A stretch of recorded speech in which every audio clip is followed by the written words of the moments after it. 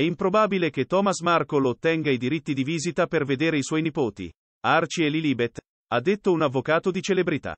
La scorsa settimana, il direttore delle luci e direttore della fotografia della televisione americana in pensione ha promesso di portare Meghan Markle e il principe Harry in tribunale per incontrare i suoi nipoti.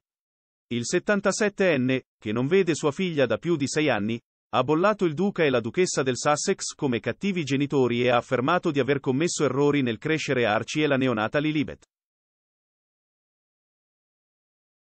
Tuttavia, l'avvocato divorzista delle celebrità Mark Gross ha detto a Us Weekly che il caso di Markle è debole e difficilmente avrà successo.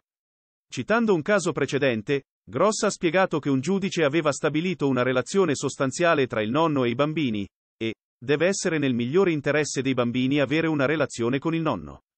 In relazione alla situazione attuale del signor Markle, l'avvocato delle celebrità ha affermato che senza alcuna relazione stabilita tra il signor Markle e i suoi nipoti, non c'è percorso che un tribunale gli avrebbe dato per la visita.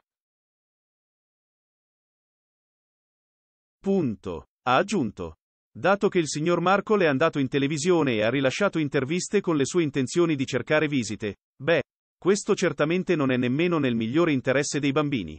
Qualsiasi giudice lo guarderà e avrà motivo di preoccuparsi.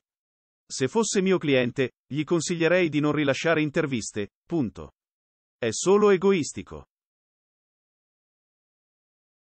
Punto punto. Meghan ha sopportato una relazione molto tesa con suo padre da prima del suo matrimonio con il principe Harry nel 2018.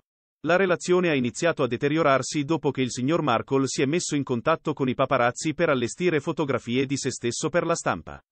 Durante l'intervista della coppia con Oprah Winfrey a marzo, Meghan ha rivelato che suo padre l'aveva tradita e che trovava difficile riconciliarsi con lui. Annunciando la sua intenzione di portare la questione delle visite in tribunale, Markle ha dichiarato: Non dovremmo punire Lily per il cattivo comportamento di Meghan e Harry.